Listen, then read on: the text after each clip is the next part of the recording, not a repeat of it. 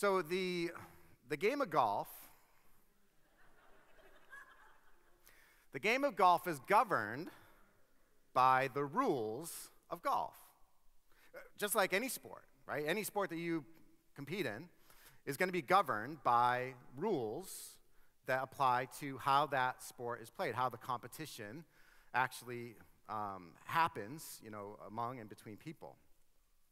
Um, the rules of golf are important. Uh, last year, we were on vacation, and uh, I have three kids. Uh, all three of them play golf, and, uh, and we were at a place where there were a couple golf courses, and so um, sometimes we go and play golf together. Sometimes, um, you know, like my girls would go play with their boyfriends, um, whatever. So there's, there's people coming and going playing golf.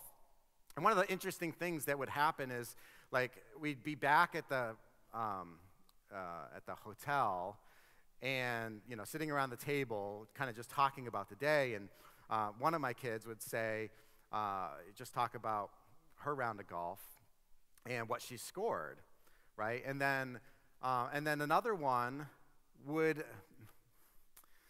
almost sort of judgmentally be like, oh, really? That's, wow, that's not very good. Um, I scored, right? And, then, and so there's this like comparison of the scores that were, um, that were achieved in playing golf that day.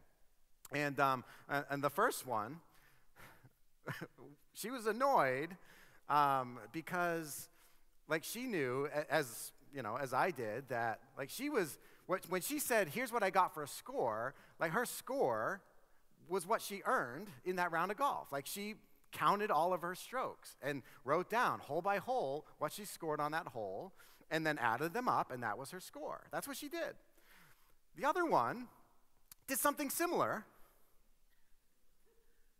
but not exactly right like when she went out to play um, the rules were managed, right? To, to, make the, to make the time spent on the golf course a little more enjoyable, probably. Um, you, you know, she hits one she doesn't like, she re-hits one. This one didn't go where I wanted to go, I'll just hit another one, right? I didn't make that putt. Well, I, you know, normally would make that putt, so I'll just count it as if I made that putt. And so she writes down hole by hole what she got for scores, adds them up, and would you believe? Scored way better than the other one. Now, why is that? Well, it's because one was following the rules of golf and one was not. Now, there's a lot of you who play golf casually, perhaps. Um, and there's lots, I mean, there's thousands and thousands, hundreds of thousands of people that play golf casually. And I, I just want to, I want you to know that there's a difference between playing the sport of golf and going out to a golf course and whacking a ball around.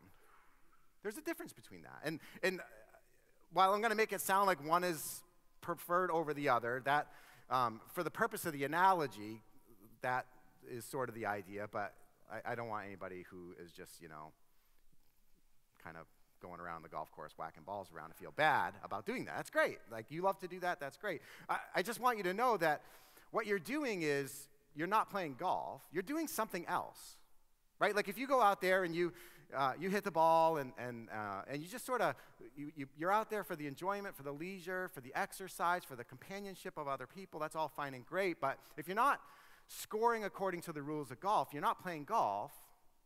You're golfing, but you're not playing golf. You're doing something that's different.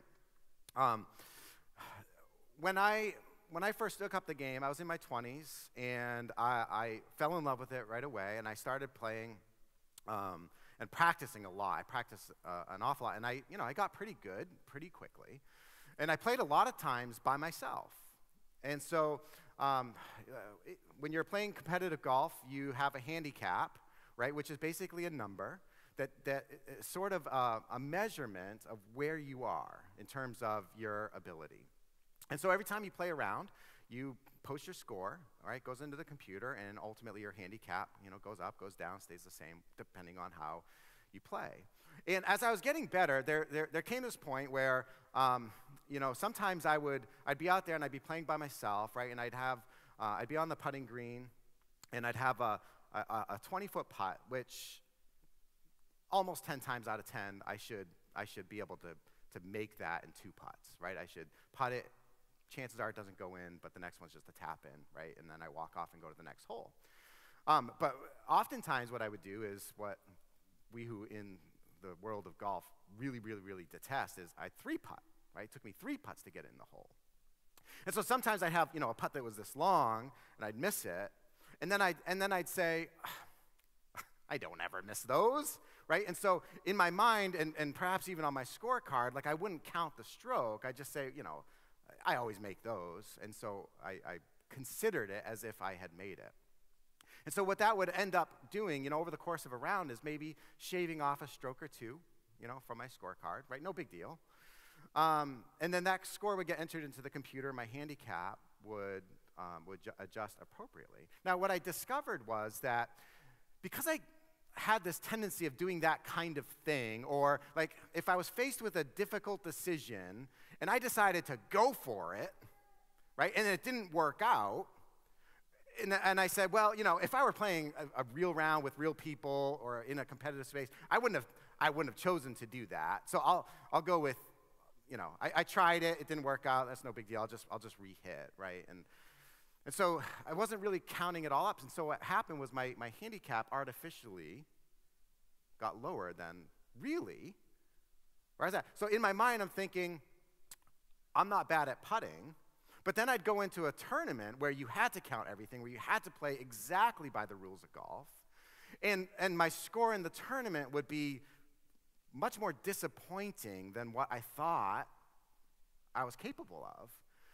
And eventually I came to realize it's like, oh, well, no, I guess I am actually that bad at putting, right? Because every time I'm in a competition, I like I do three putt that 20 foot putt from time to time. I do miss that putt that I thought I never missed this putt, right? And so the scoring of golf is an important thing. My handicap is actually a fairly objective measurement of the golfer that I am.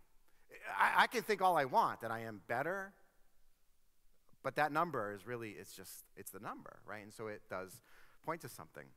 Uh, I'm going to read from uh, the tail end of Jesus' Sermon on the Mount what might sound like some pretty harrowing words um, from our Lord and Savior, Jesus Christ. And, and I hope that as we look at this, it'll be, it'll be challenging. Um, it'll just kind of awaken us, you know, to really consider what does it mean you know, to be in this pursuit of following Jesus, right? That's what we've been talking about um, these last few weeks is um, laying aside the things that keep us from really engaging in and living a life of pursuing and following Jesus because, because of the desire we have so oftentimes to hold on to other things. All right? So let me read Matthew chapter 7, verses 21 through 23. This is Jesus speaking. He says, Not everyone who says to me, Lord, Lord, will enter the kingdom of heaven but only the one who does the will of my Father in heaven.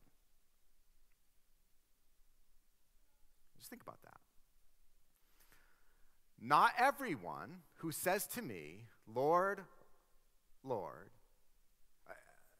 you can just you know, think about the kind of person that might stand before Jesus um, and acknowledge him to some degree as Lord, but he says of some that they will not enter the kingdom of heaven. And then he remarks on what seems to be sort of the deciding factor as to whether or not somebody enters into the kingdom of heaven. He says, Only the one who does the will of my Father in heaven. On that day, so now he looks forward. He says, On that day, many will say to me, Lord, Lord, didn't we? And they go into this history lesson of their lives and say to Jesus, Lord, didn't we prophesy in your name? Drive out demons in your name? And do many miracles in your name? And then I will announce to them, again, this is Jesus, now directing his attention to those who appear to be contesting the reality that they are not being given entrance into the kingdom Jesus says to them, I will announce, I never knew you. Depart from me, you lawbreakers.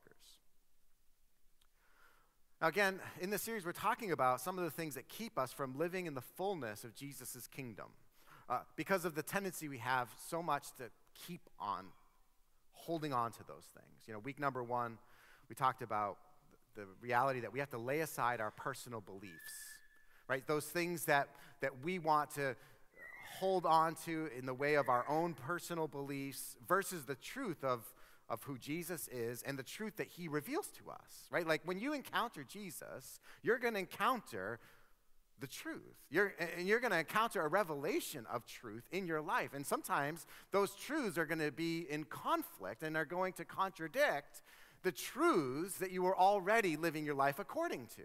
And in that moment, you have to decide well, do I just continue to hold on to my truth as my truth and the truth of Jesus be damned? Or do I realign truth, my truth, to what Jesus has revealed to me as his truth?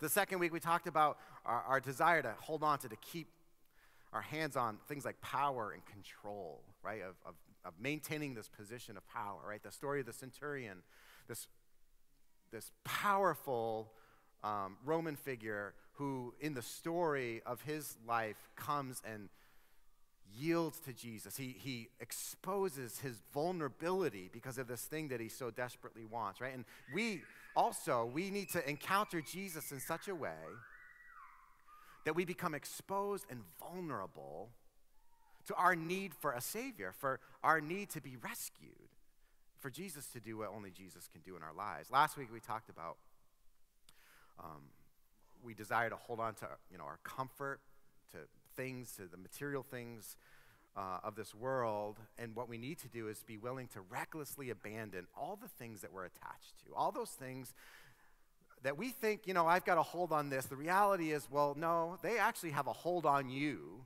We have to be willing to recklessly abandon those things to enter into Jesus' kingdom and embrace what he has for our lives. Today, I want to talk about the need for us to lay aside our own law and our own will to become obedient to the law and the will of God. Have you ever had something uh, to eat and like you're you're eating it and it, there was like some really important flavor that was missing, right? Like it, it's not that it necessarily tasted really really bad or was repulsive or anything like that. It's just like you're eating it and you're thinking, what's missing here? Uh, there's a little, I think, of that going on in the text that we just read this morning. That um, Jesus highlights various things that these people who would profess to be in the good graces of God, they come to Jesus with all of the things that they've done. But Jesus seems to be far more focused on what is missing from their lives than what is manifest, right? Did you catch that? Jesus, didn't we prophesy in your name and cast out demons in your name and do miracles in your name? Which I think we'd all agree are like, well, those are some pretty incredible things, right? I mean, I've never cast out a demon or performed a miracle or anything like that. And so here these people stand before Jesus, appealing to, you know, these particular examples that Jesus gives as some demonstration that again, they're in the good graces of God. But Jesus, he focuses not on what they manifested in their lives, but instead on, on something that appears to be missing. Right? I just I want us to think about the thing that is missing from the example of these people's lives.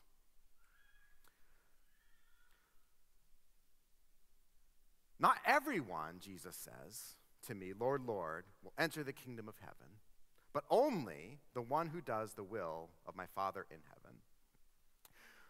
So Jesus, again, references this thing called the kingdom of heaven, which we've been looking at uh, every week. And while we're talking this, I, and, and when you hear these words, I don't want you to think of the kingdom of heaven as, as some place that isn't here, like that's up there somewhere. Um, in, in our minds, like in the kingdom of heaven, somewhere there, there, there's a castle, and inside of that castle, somewhere there's a throne, and on that throne is sitting Father God with God the Son sitting at his right hand. Like I, um, that we're supposed to like do various things in this world so that someday we get to go there. Like, I don't want you to merely have that picture or, or for that to be the, the consuming idea when we talk about the kingdom of heaven. Because if that's all you think about, or even if it's primarily what you're thinking about, then you're really you're, you're, you're, missing practically everything that Jesus is emphasizing when he's talking about the kingdom of heaven.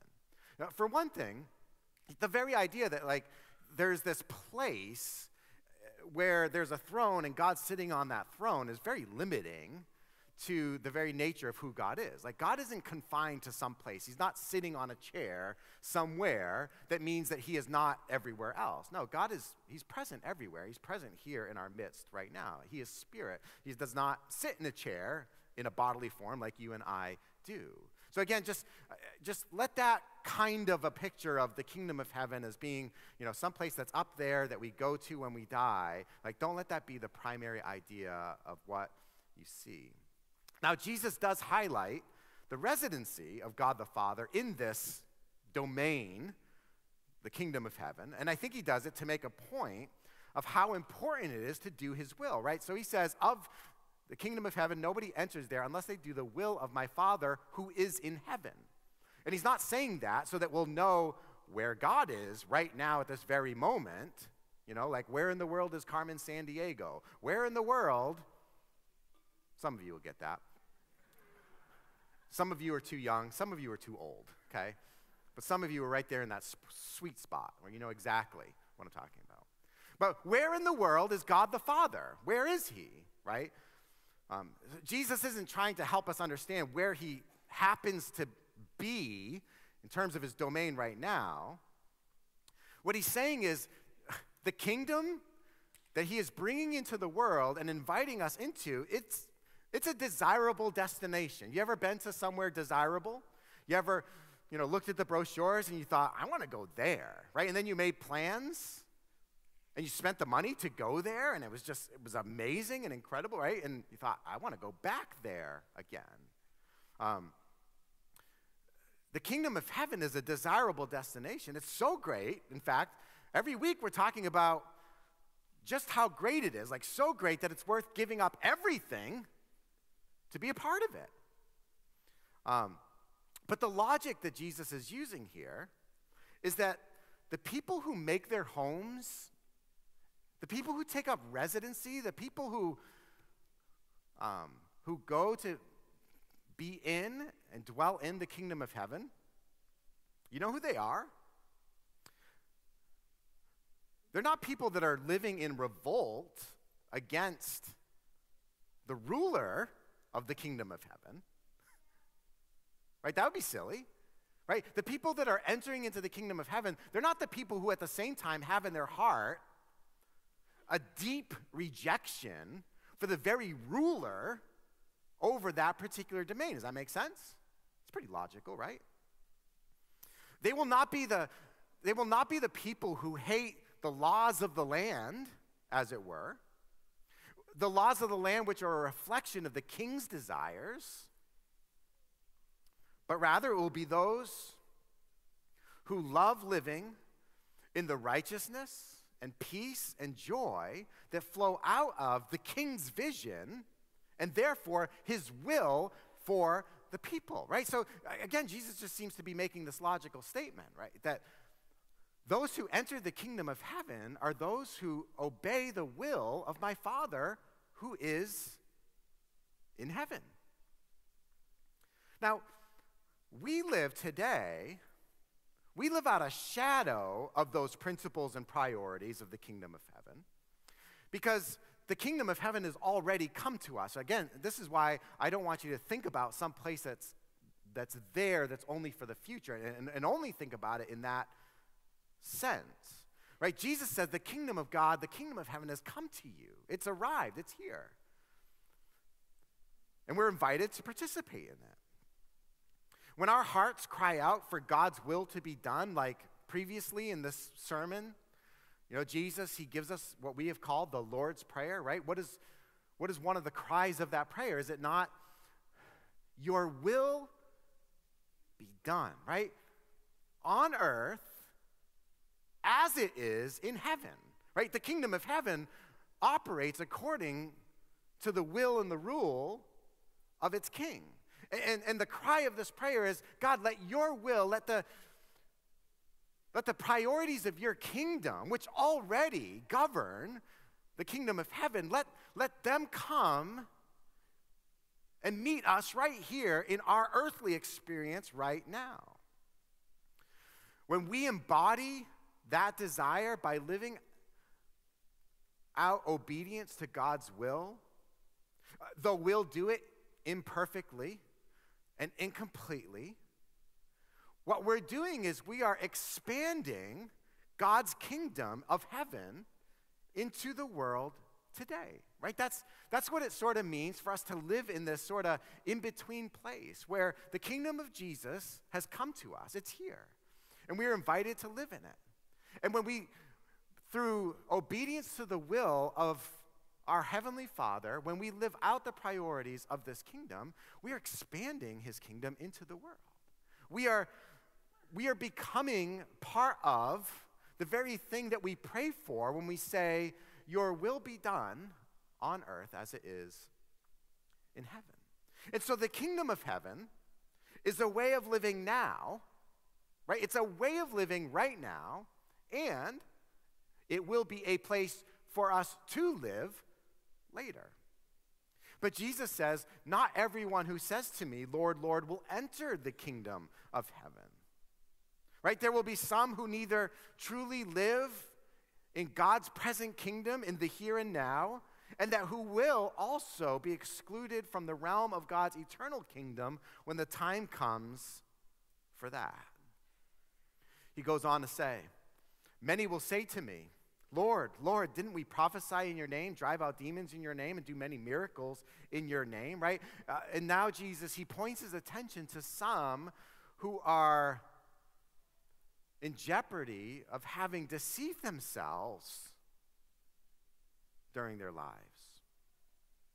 They're self deceived. Like they stand before Jesus, Jesus, didn't we right? And they, they just start, they start listing off all of the things that they, that they did that, that they thought would provide for an adequate evaluation for them to be welcomed into God's kingdom. Didn't we do this? Didn't we do that? Didn't we go there? Didn't we accomplish that? But they were self deceived. Can I, um, for those of you that are following Jesus, can I, can I just share with you from, from my heart and with love a warning, a caution, maybe? If you're sitting here and as I'm uttering those words, right, and think, thinking about, you know, the, the, the kind of person that might stand before Jesus saying, Lord, Lord, did we not, did we not, did we not? And you're sitting there thinking, well, that could never be me. That will never be me. Can I just, can I just encourage you to proceed cautiously? To think, you know, could that? Could, could I could I be living out a kind of form of Christianity that isn't actually the real thing? Like the person that goes out onto the golf course and whacks balls around. They're doing something that looks like golfing, but not necessarily playing the game of golf. Of these people, Jesus seems to be describing the reality that they protest their exclusion based on the activities that they were involved in. Right? They prophesied, they drove out demons, they did miracles. I, I, I, don't know why Jesus happens to pick these three things as an example of the kinds of religious things that people might do that they would think would earn them favor in God's eyes. And, and Jesus doesn't, he doesn't disqualify the activities but rather, what he seems to be doing is bringing to the forefront the thing that's missing. The thing that's missing, the thing that's really, really, really, really, really, really important when it comes to understanding, you know, am I actually living in and bound for the kingdom of heaven or am I not? Uh, these people, they will appeal their good works as having been done in the name of Jesus. They had involved themselves in a kind of arena that might be linked to Jesus. They were able to do some incredibly good things, but the one thing they didn't do, the one thing that was missing was they didn't obey they didn't obey the will of the Father. They didn't obey the will of Jesus. They didn't obey his commands. That's, that's what's missing. And so we have to ask ourselves is obedience to Jesus what is missing from my life? Right? That's, that's the question that I have to confront myself with. Am I actually living in obedience to God's will for my life? One author wrote, One may with his lips loudly profess his faith in God and even invoke Jesus as Lord, yet deny him by thoughts, words, and acts. Is obedience to Jesus what is missing from my life? Jesus responds to these. He says, I never knew you. Depart from me, you lawbreakers. He says, I never knew you. Now, he's not, he doesn't literally mean I never knew you as if, like, I have no idea who you are, right? I mean, he is the all knowing God of the universe. He knows exactly who they are. What Jesus is denying is that there is any real relationship that they possess with him. That anything substantial exists between those who are calling out, Lord, Lord, and the Lord himself. And what is this lack of relationship based on? What, uh, what is it that Jesus says is sort of the sticking point that demonstrates that there's nothing really substantial? It's an unwillingness to do the will of the Father. That's what he says.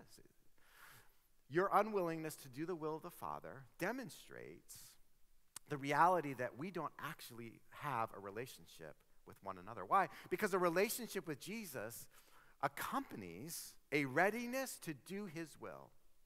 A relationship with Jesus accompanies a readiness to do his will. He describes them as those who practice lawlessness. Now, there's a very, very interesting thing that he accuses them of because the people that he says of them you who practice lawlessness, the one thing that they probably weren't doing was practicing lawlessness. To this particular audience, the thing that was extremely sacred to them was the law. In fact, it was the law that they would ultimately appeal to as being the thing, the, the linchpin that would have them entering into the kingdom, the law as they understood it.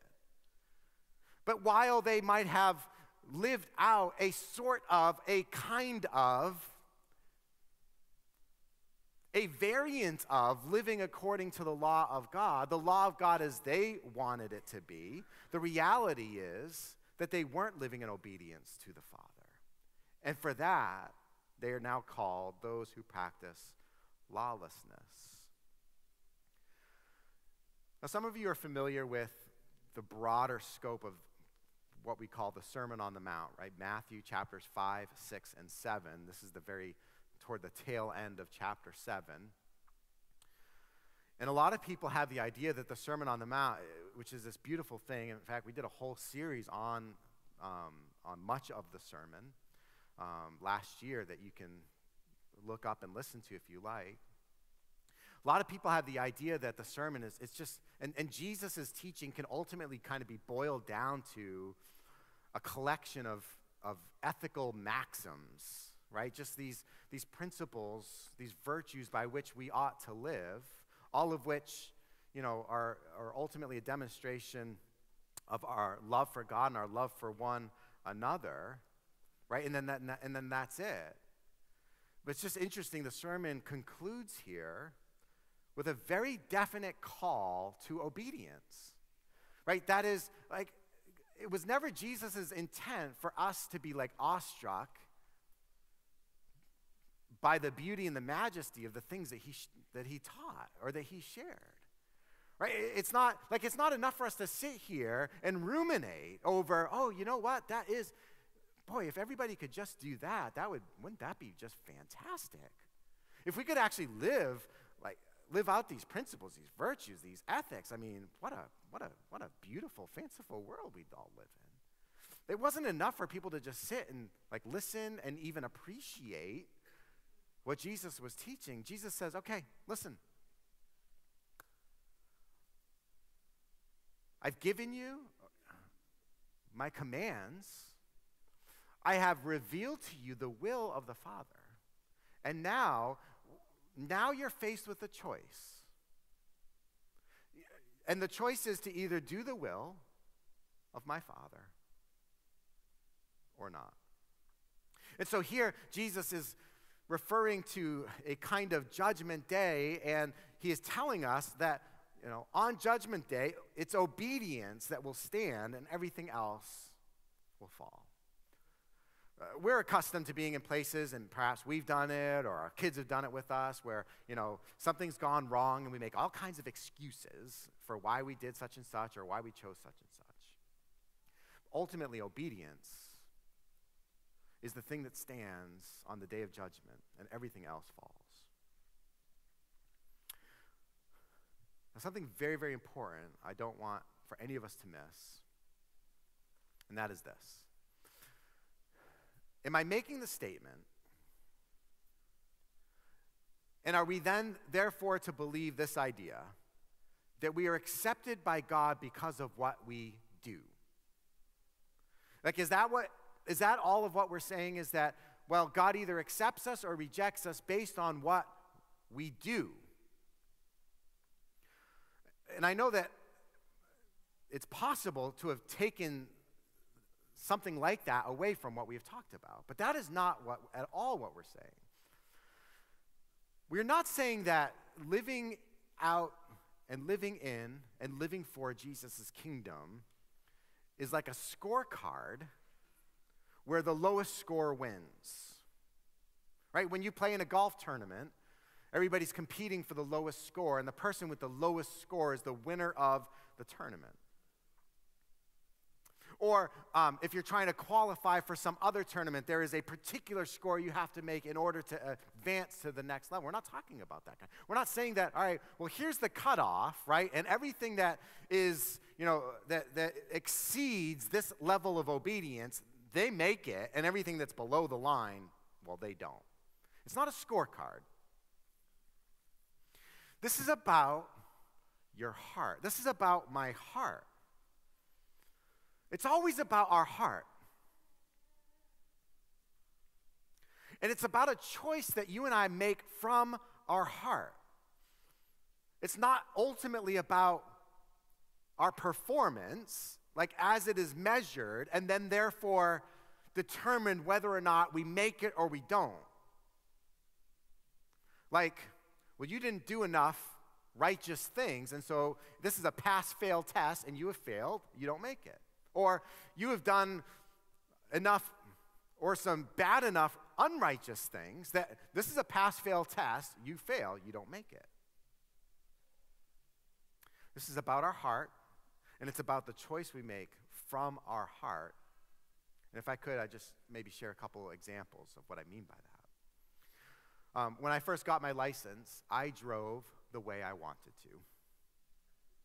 How many of you, when you got your license, drove the way you wanted to. Anybody? And I was punished multiple times for driving the way I wanted to. But then there came a point where I stopped doing what I wanted.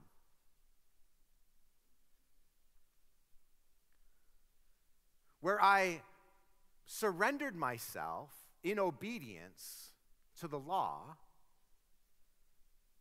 of the land. Now, I will tell you that when that happened, and it did, it happened. Like I can, I can tell you when it happened. I can tell you why it happened. But it happened. Since that time, have I, which has been many, many years now, since that time, have I followed perfectly the law of the land? I have not. I have not. It's been in my heart to follow the law, right? So it's my heart that changed. My attitude toward the law changed. And now my heart embraces the law, but I don't follow it perfectly. You know why? Because sometimes I don't plan well. And I'm rushing out of some place at the very last minute, and I'm late for the next thing or the next place that I have to be. And yes, I'm talking to my wife right now. right? And, and so, what do I do? Well, I exceed the speed limit so that I can maybe make up the time that I've lost by my poor planning. So I've broken the law. It's not that I wanted to, but I did. And I'll do it again. Right? But but the nature of my heart, the desire of my heart doesn't change, right? It's I want to abide by the law. Sometimes I'm guilty of not paying attention to the law. Um, I've been pulled over uh, one time in South Berwick on a really rainy day visibility wasn't very great. Coming through this 25 mile an hour zone, and I just came right up to a police officer, right, who was driving ahead of me that I didn't see. And so he pulls over, I go by, he puts his lights on, and he pulls me over. And says to me when I open up the window, Hey, you came up on me pretty fast there. And I said, I did, and I'm sorry. And I didn't get a ticket. I mean, he took my license and my registration. He went back, he looked at the computer, and um, enough years had gone by that I didn't show up anymore. right? And, so I've been, I have been pulled over multiple times for not, for, for, for an infraction of the law. But since that, it, what's interesting, not that, not that I'm immune to getting a ticket. I mean, yeah, I might get a ticket someday when I'm not paying attention. But like up to this point, for many, many years now, since that time when my heart changed, like I haven't, I haven't gotten a ticket. I've gotten pulled over. I've been talked to. I've been warned right? But I don't know what it is. I don't know if maybe the police officer recognizes that there's, all right, you know, here's a guy that he's doing his best. He's trying. Like he, he's not recklessly or um, rebelliously negating the law. And so uh, I share that because I think it illustrates the reality of like how we live in the kingdom, which is that um, our hearts need to change. Our posture needs to be one of obedience to the law of God. We recognize that we don't do it perfectly all the time. And in those moments, we need grace and we need God's mercy. And aren't you glad for God's grace and God's mercy?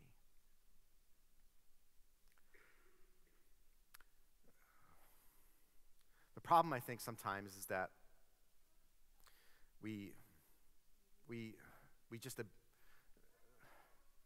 we deceive ourselves into thinking that that's what we're doing when the reality is our heart's not really there. And that's where the problem is. To love Jesus is to love the law of Jesus. To love Jesus, to, to love the law of Jesus. Another question is well, is obedience too much of a burden for us to carry? Like, if I'm going to come and be obedient to Jesus, is that just a, is that a burden that is just too much for me to carry? Um, so the rules of golf are extensive. The rules of golf, uh, there's a rule book, and there are decisions regarding those rules that have been made over the course of time, and it's hundreds and hundreds of pages. I know some of you are shopping on Amazon right now to get your hands on a copy of the rules of golf, right? So the rules of golf, they are, they're, they're very, very expansive. And because I love the game of golf, the competition of golf, I, this is going to sound weird, but I love the rules of golf. Sometimes those rules are inconvenient. Sometimes those rules I wish maybe were a little different. Sometimes those rules cost me something that I wish they hadn't cost me. But on the whole, my, my, my attitude toward the rules of golf is one that, well, I love the rules of golf. And you know who else loves the rules of golf? uh, the professionals that you watch on TV who have millions of dollars at stake, they love the rules of golf. The, the avid competitive golfer like myself, we love the rules of golf. The, the four old guys that play every single Saturday with two bucks on the line who would be mad to find out that somebody in their group was cheating or taking advantage of the rules of golf. They care about the rules of golf. And then there are some who are ambivalent to the rules because they don't want to play the game of golf. They want to do something different from golf. And for them, the rules would actually be a burden. Right? The, the rules would actually take away from their enjoyment of the game. And so, if that's you, when it comes to golf, by all means, don't keep score. Don't keep score. Um, can I tell you one more story? Um, I won't tell you who it involves because it would embarrass Doug Spalding if I told you who it involved. uh, but some years ago, uh, Doug and Jeff Howe, who plays the bass here sometimes on stage, we were playing golf, and um, and we always start like with the idea that we're we're playing golf. Uh, both, you know, I'm playing against the golf course, I'm playing for myself, but we're also sort of playing, you know, kind of against one another, and so we're keeping score. And, um, and so Doug hit his ball into um, what was called a hazard, which is now called a penalty area. And at the time, the rule was, you know, you hit your ball into an area like that. Um, how many of you have gone miniature golfing before? You hit your ball in the water, right? You got to go get it with the little basket thing. And then you, what do you do? You put the ball near the point where it went into the water, and you give yourself a penalty stroke, right? If you care about the rules of golf. Hello? Okay. That's right.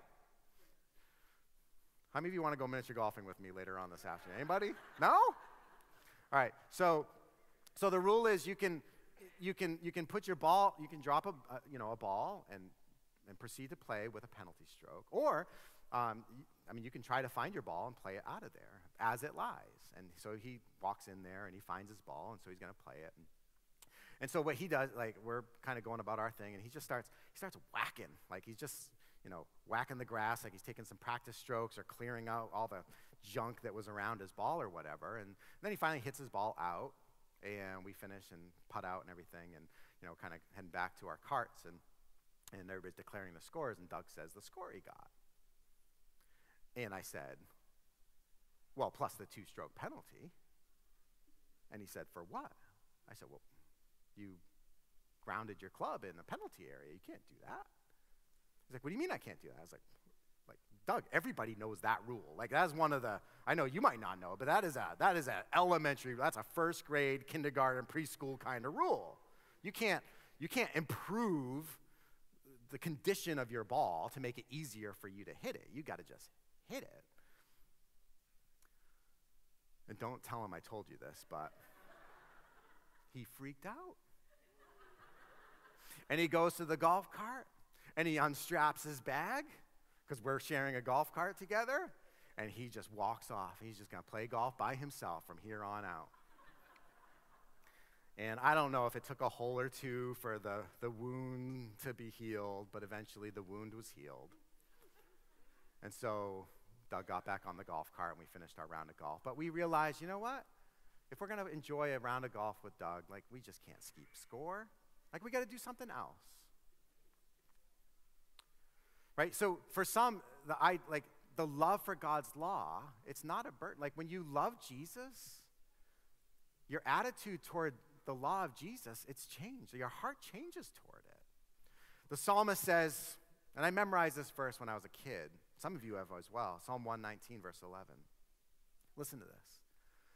The psalmist expresses this to God. He says, I have treasured your word in my heart so that I might not sin against you.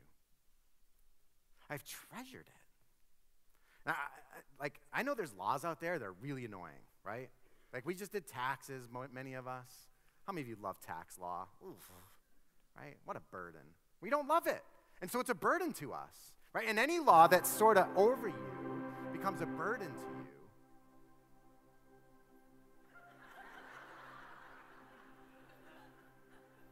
Rob, I'm almost there, I promise.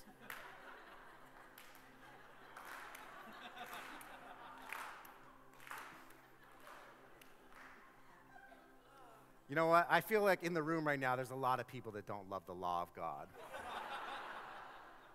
Tyler, are you feeling that? Yeah. You're feeling that?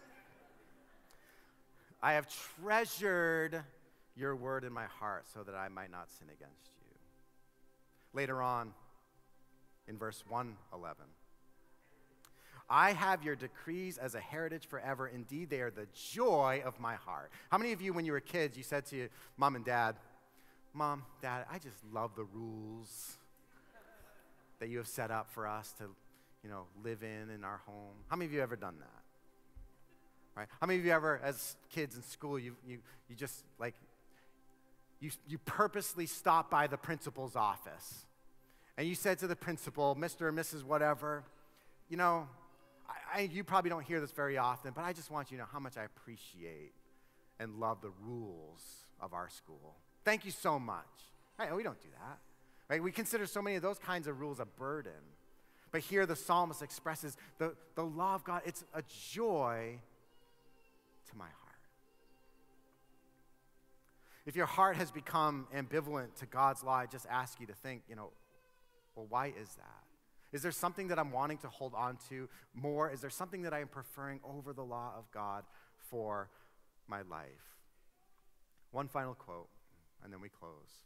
Michael Green says this Notice how here, as so often in the teaching of Jesus, we are challenged to decide. There is no comfortable middle ground embracing most of us and leaving on either side the very good and the very bad. How comfortable it would have been were that the case. But Christianity is not about being very good or very bad or very comfortable. It is about being in God's kingdom or staying out. It is about allegiance to God or rebellion. It is about being on the road that starts narrow but opens out into the life of heaven, or staying on the broad road of our self centeredness until it contracts to a dead halt in final destruction. An awesome choice, he says. And we find at the end of the sermon, we are not permitted merely to admire the teaching, we are challenged to bow to the preacher. Not this preacher, the preacher Jesus. And he closes with these questions Have you entered in? Are you on the road?